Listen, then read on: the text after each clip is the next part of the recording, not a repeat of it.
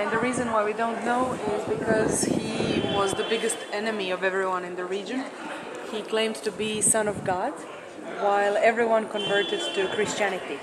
So they had big religious battles. When he died, they just kicked out his body.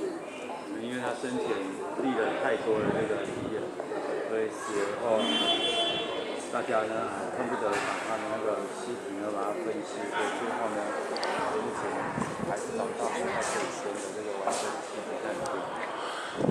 then slowly they converted this building to a church, and later on it became cathedral, central church for the whole region. Today this is Roman Catholic Church. You, if you want to pray, you can go in, but other than that, only outside.